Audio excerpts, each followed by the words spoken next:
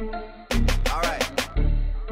Old ways, new women, gotta keep a balance. The girl of your dreams to me is probably not a challenge. I've been counted out so many times I couldn't count it. Funny how now my accountant is having trouble trying to count it. To the people that think that I owe you shit.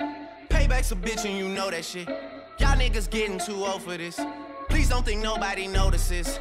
I've been up for way too many days. Sleep enough for me anyway.